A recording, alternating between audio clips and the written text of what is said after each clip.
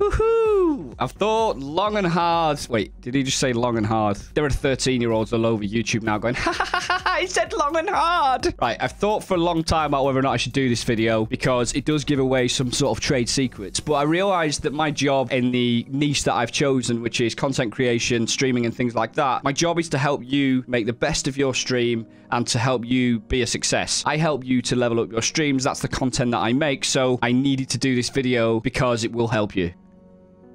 Yeah, I think that makes sense. So in this video, I'm going to be going through some absolutely essential commands that you need to add onto your stream that really people have come to expect on Twitch and YouTube gaming. I've then got a part two to this video, which is the desirable commands that you should be adding to your channel or something similar, just to get your creative juices flowing. The objective of those desirable commands, they're not like essential stuff, but they might make your viewers just feel that little tingle here and there. Not, not like that, okay? Get your mind out of the gutter, okay? And let's be honest, honest, you want to be making your viewers feel awesome. You want to be making them feel good. If you're watching this, there's a pretty good chance that you're a fairly new streamer or that you're just revisiting your chatbots and your commands and things like that. If so, first of all, if you're unsure about how to set up Cloudbot on your stream, there is a link in the description on how you can set it up. And then there's another video in the description, which is how to add custom commands. I'm not going to go through the details of how to add them because I've covered that already. This is purely going to be the commands themselves and using variable commands to make the most of them. As always, if you find this useful, hit the like button. Feel free to subscribe to the channel. And if you want to come out on my stream,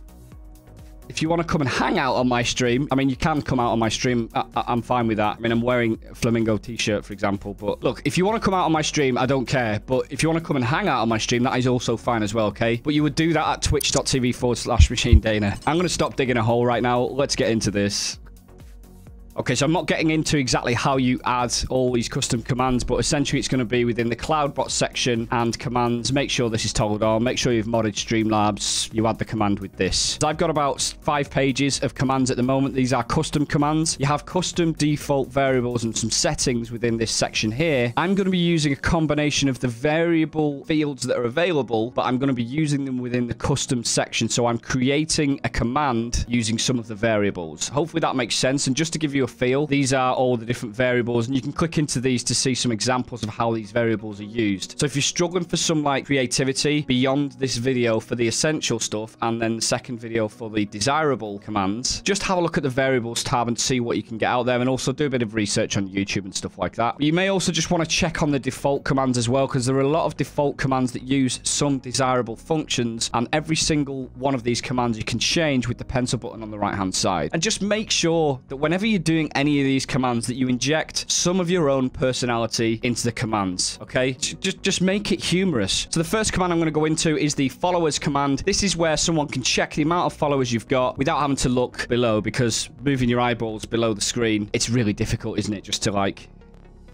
yeah, so obviously I've used the command exclamation point followers. A lot of people tend to use that, but obviously you can use what you want. And I also, for all of these commands and every single response message that I have on my cloud bot, I type forward slash me. That will just color the text the same color as your bot color, which just allows you to distinguish the messages. Just a little tip. So don't be alarmed if you see forward slash me at the start of every single example that I show you now. So this schema uses the touser.followers variable, and it's basically MachineDaena's current Twitch follower count is this. I found people use this a lot. It's an essential command to use. Just add it. It's easy to do. But of course, you can add some extra text off the other side of this. For example! And some emojis or something like that. I highly recommend the aubergine emote and the peach emote, such as let's get our pants down here for my stream title in Rust. I spend a lot of time naked in Rust, okay? Don't don't judge me. To see an example of how this works, there you go.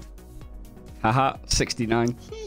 The second essential command will be followage. This is where someone can check how long they've been following you. Now, this isn't something you can obviously just check randomly. And, and no one likes rumors, okay? No one likes to speculate how long someone's been following your channel. So just give them the facts, okay? Just give them straight facts. Exclamation point followage tends to be one that's used a lot on Twitch, but again, you can use your own here. Forward slash me. This uses the variable touser name. That's the name of the person that's doing the command. Has been following the channel with, and that's the name of the channel, in my case, MachineDaena, for, and then it's touser followers. This variable here will take their follower date and divide it by quick maths. It'll calculate how long they've been following your channel, okay? And that's good because it creates a little bit of competition, actually. The OGs know that they're OGs. The new ones can start to feel more like OGs the longer they're on your channel. It works, okay? Just do it. I'm going to use my wife's account here to demonstrate how this works because I obviously don't follow my own channel, but my wife does, obviously. I hope nine months and four weeks. I mean, that's about as long as I've been streaming, so I'm okay with that. By the way, feel free to follow my wife if you want. I mean, she doesn't stream, but maybe one day she will. And I guarantee if she does, she'll be way better than I am, okay? So on the theme of viewers being able to check certain things about their time on your channel, they may want to check their watch time on your channel. So the next one I'm going to go through is watch time at and then username. This will tag them in the post of the person that's doing the command has watched the stream for. Variable user.time is a variable that shows the hourly amount of time that someone has watched your stream for. And I think it uses the CloudBot loyalty system, which is based on this tab here, to calculate what that time is, rather than the Twitch time. But I, need to check that. Again, I'll demonstrate with Wifey's. Magical Gems have been watching the stream for 600 hours. Wow. You just can't get enough. This might seem like a really obvious one, but people have come to expect the watch time one. And to be honest, it does create a little bit of competition with the viewers. You're also, as the streamer, as they're checking these things, able to sort of passively monitor who are more loyal and less loyal viewers. This is particularly important if the less loyal viewers are causing some issues on your channel for moderation purposes and things like that. You may want to just consider moderating them more heavily if they're not even watching your channel, but being very disruptive when they are there, if that makes sense. And also, you may just want to reward the more loyal viewers when they hit a certain level. For instance, you could offer a giveaway or a prize or something like that when someone hits 500 hours or like 5,000 hours. The next one we're going to get into is game. This one's pretty obvious, but sometimes people forget to change their games and their titles. Exclamation point game will just allow someone to check the game that's currently being set, or you as the streamer could even do it as well. Sometimes people will join the stream and they might not even know what game you're playing. So there is like more of a practical reason why this would be here. So exclamation point game. In my case, I'm not streaming right now, so it puts what the last game category you were playing. And sometimes it'll say things like, is playing just chatting or is playing food. There's not much I can do about that, okay? If you want to play with your food, just do it. But there is a more informative command that you can use here, which is the stream command. This gives key information about the stream, including the title. I've put this as exclamation point stream, but again, you could put about, you could put streaming now or something like that as the command there. Again, forward slash me to call the text. The title uses the channel title variable. The game is the channel game variable, and viewers is the channel viewers. So it's the current number of viewers on the channel and what game is being played. Just to demonstrate this, so as you can see, there's the title. There are no viewers. I'm not streaming right now. And the game was Rust. The next command is uptime. Sometimes people just like to see how long you've been streaming for. Maybe you want to see how long you've been streaming for. The stream has been live for. And then it's just uptime as the variable. Again, don't forget with these things to be putting some extra content after them. Please do customize all of these with emotes and your own personality. Otherwise, it's just a little bit boring. I'm giving you the most boring version of it here. But every single one of these on my stream have been customized to my personality, my stream and my viewers. But normally that would say how long you've been live for, and it just uses the timer that's normally located underneath the screen. Next, we're going to talk about lurk. So if you don't know what a lurker is, where have you been hiding? But lurkers are people that are sort of there as a viewer, but perhaps they're not really paying as much attention, or they might be doing something else, or they might be downstairs making love to their dog uh, or something. I mean, that's a really bad example. That's probably not what your viewers are doing. And I also don't condone making...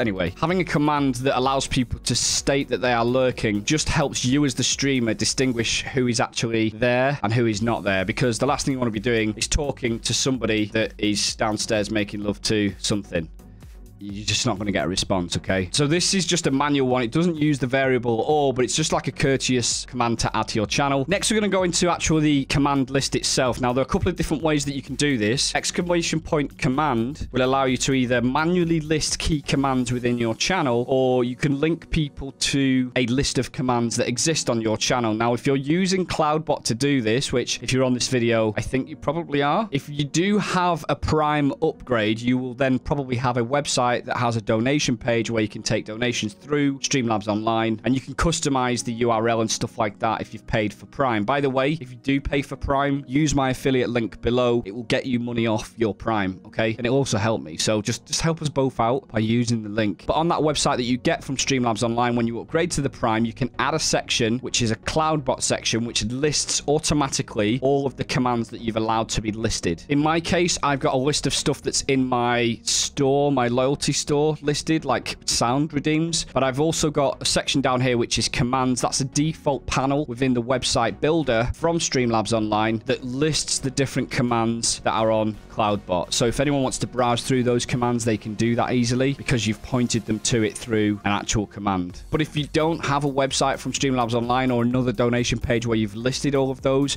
you could easily just set up a Google Doc, you could set up an Excel doc, or you could just list them within the actual command itself. But just be warned here, there is a 250 character limit within CloudBot, and most of the other bots out there also have a limit on the characters used. There it is in use, as you can see. Oh, look, there's some emojis to make it look a little bit more interesting. The final command I'm going to go into is one that probably isn't essential, but I feel like there's so much help and support that people give each other on Twitch and YouTube Gaming that if you don't have this on your stream, you're probably going to look like an idiot, or at least ungrateful. So having a shout out command, usually it's exclamation point SO. I'll show you how to do this shout out in a second, but check out target name at target URL. They were playing target game. So this is a person's name and it'll be a link to their Twitch page and it'll be the game that they were last playing in the game category. And this is all pulled from the API through CloudBot and displayed in chat. But you don't just do exclamation point SO here. You actually have to at a person. For example, Wifey, Magical, Gems. I don't think she's streamed ever, but I'll do the shout out anyway so that you can see what it looks like. So then you can just shout out people that raid you, that host you, give you bits, back rubs. Just shout anyone out, whatever you want. So I've actually changed mine to be so shout because of reasons. Check out the second video, the desirable thing. Like there's a reason why I've actually more customized this rather than having a generic shout out. But if you don't want to do the thing that I'll talk about in the second video, just having a general shout out works. So mine is actually so shout and that will then return the URL, the person's name and what they were playing last my wife was playing Null. Sounds like a really cool game. So this just allows you to thank people whenever something nice happens. It can be absolutely anything. It doesn't have to be stream related. It's just nice to shout people out and show your appreciation to them and kind of encourage your other viewers to show appreciation to them as well. This sort of thing can create a positive vibe in your stream, and that's really, really important. Nobody wants to join a stream where it's just full of drama and toxic and negative, okay? People want positive streams, people want positive affirmation, they want to feel good when they join your stream. Otherwise, why would they join?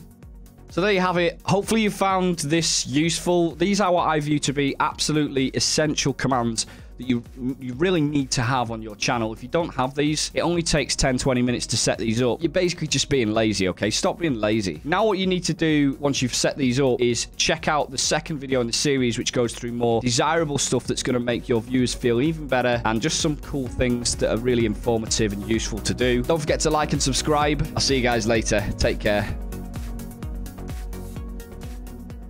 Place this on him.